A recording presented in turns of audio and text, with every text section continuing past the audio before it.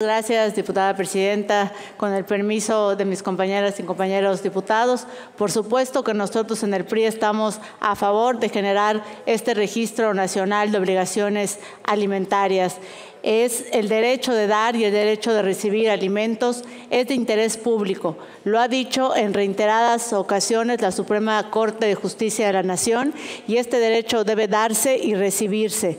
Lo ha adjetivado la Corte en, jurisprudencia reciente de manera proporcional con el principio de necesidad y de solidaridad familiar y al mismo tiempo lo ha dicho la Corte, que se debe mantener un equilibrio entre la necesidad de los acreedores y la posibilidad de los deudores, también en otra de sus tesis. Solo quiero decir que hay una observación que es importante tener. Claro que son dos figuras distintas y quiero dejarlo establecido.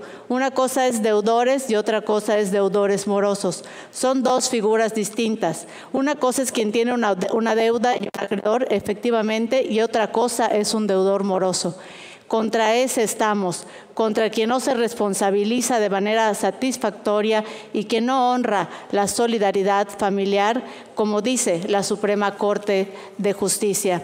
Hoy nuevamente tenemos el poder de marcar la pauta para reformar la Constitución Federal, para que ningún agresor o agresora pueda llegar al poder en un país cuya realidad es que 11 mujeres son asesinadas al día, en un país donde cada 18 segundos una mujer es víctima de violencia sexual, es decir, 180 mujeres cada hora.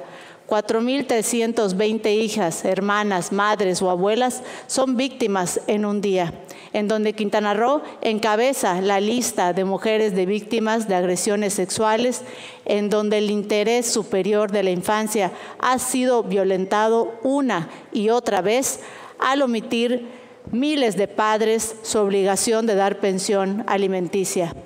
Hoy tenemos el poder de poner un alto y que el Congreso de Quintana Roo se sume y apruebe esta reforma federal. Es un mensaje de que Quintana Roo diga ya basta. Es un mensaje de ética y de congruencia.